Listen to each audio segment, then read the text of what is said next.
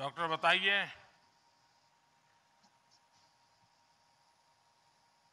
सलाम और आदाब सर। आपसे मुहातिब होकर बेहद खुशी हुई मुझे। क्या शुभ नाम डॉक्टर आपका?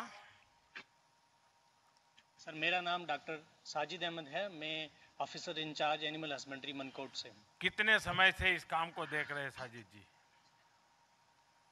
सर मैं तीन साल से लगातार इस ब्लॉक को सर्व कर रहा हूँ as a animal husbandry officer अच्छा। क्या अनुभव आ रहा है? क्योंकि वहाँ तो मौसम भी विपरीत रहता है और पशुओं को संभालना दूर दूर से दूर पशुओं तक जाना ये अपने आप में बड़ा कठिन काम होता है। थोड़ा अपना अनुभव बताइए। जी सर आप जी सर आपने ठीक फरमाया। जैसा कि आप जानते हैं कि हमारा ब्लॉक मनकोट देश के उत्तर पश्चिम इलाके में एलओसी पे है और मेरे ठीक पीछे जो पहाड़ी आप देख पा रहे हैं ये एलओसी की ही पहाड़ी है। सर हमारे यहाँ अमूमन लोग ट्राइबल हैं और वो सालाना माइग्रेशन करते हैं जिनमें ज़्यादातर लोग गर्मियों में अपने माल मवेशी को लेकर हाई पास्चर लैंड पे चले जाते हैं और सर्दियों के आते ही वो लो लाइंग एरिया की तरफ़ रूह अपना कर लेते हैं। इस सफ़र के दौरान जानी, माली और जानवरों के नुकसान से बचाने के लिए हमने इनको ट्रक ट्रांसपोर्टेशन जैसी सुविधा फरहम की। इसके साथ साथ वेटनरी और मेडिकल अवेयरनेस कैंप्स भी ऑर्गेनाइज किए।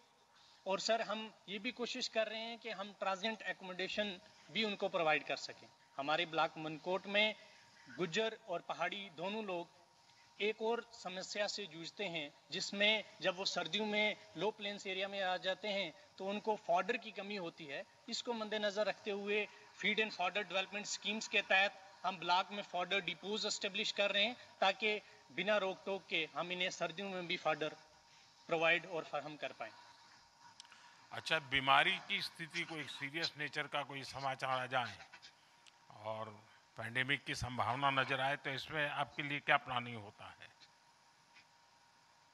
सर जैसे कि लास्ट टाइम हमारे ब्लॉक में लंपी स्किन डिज़ीज़ की भी आउटब्रेक हुई थी तो उसको मद्देनज़र रख के मैं आपको पर्सनल एक्सपीरियंस शेयर करना चाहता हूँ कि हमारे ब्लॉक में जब हमें ऐसी डिज़ीज़ नई डिज़ीज़ हमारे पास रिपोर्ट हुई तो सबसे पहले तो हमने हमारे हायर अथॉरिटीज़ को ये बताया कि हमारे यहाँ एक नई डिज़ीज़ आई है, फिर सरकार के सहयोग से, लोगों के सहयोग से यहाँ के P R I P R I's और सरपंच वीडीसी उन सबसे मिला के लोगों को अवेयरनेस जगह जगह पहुंचाई अवेयरनेस कैंप ऑर्गेनाइज किए, क्योंकि वो एक वायरल डिज़ीज़ थी तो उसको टैकल करने के लिए हमें ट्रीटमेंट से ज़्यादा अवेयरनेस और इसके फैलाव को रोकने के लिए कोशिश करनी थी। हमने ज़्यादा से ज़्यादा अवेयरनेस प्रोवाइड की लोगों को, ताकि वो अपने माल मवेशी को इस बचा कॉलेज में जो पढ़ाया जाता है और आज जब आप फ़ील्ड में कम काम कर रहे हो और आपके तो तीन साल ही हुए हैं इस काम में तो एक थोड़ा उत्साह उमंग भी बहुत होगा।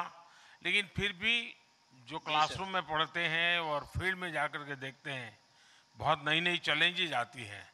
क्या अंतर अनुभव करते हैं आप? जी सर आपने ठीक फरमाया कि कॉलेज की जो पढ़ाई है और फ़ील्ड का जो एक्सपीरियंस है उसमें बड़ा अंतर है। जैसे हमें कॉलेज में पढ़ाया गया कि विदेशी ब्रीड ही दू, अच्छी दूध की पैदावार करती हैं और उन्हीं को सालों से हम आर्टिफिशियल इंसेमिनेशन में तरजीह दे रहे हैं। पर मैंने यहाँ ब्लॉक मनकोट में आके ये पाया कि हमारी बहुत सी लोकल इंडिजीनियस ब्रीड जो इस क्लाइमेटिक कंडीशन के हिसाब से बहुत अच्छे से परफॉर्म कर सकती हैं और सिर्फ़ better adaptation high milk yielding के साथ साथ वो डिज़ीज़ रेजिस्टेंट भी हैं। बहुत सारी डिज़ीज़ जो लोकल हैं, उनसे के लिए भी रेजिस्टेंट हैं।